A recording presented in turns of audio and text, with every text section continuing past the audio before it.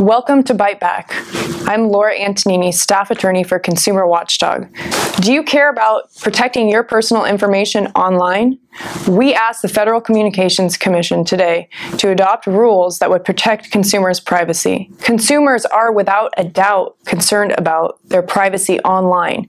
In 2014, a Pew Research Center poll found that 91% of the adults surveyed agreed that consumers have lost control over the collection of their personal information online. The Federal Communications Commission has enacted sweeping new net neutrality rules that require broadband service providers to protect the, protect the confidentiality of users' personal information. Broadband service providers are companies like Comcast, Time Warner, Charter, companies who provide you with the internet service.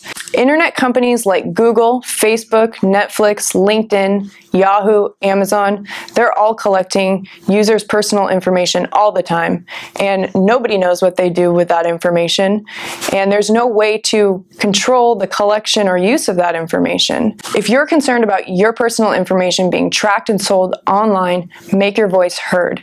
You can visit the URL here or email the FCC commissioners listed below asking them to grant our petition. Thank you for watching Bite Back.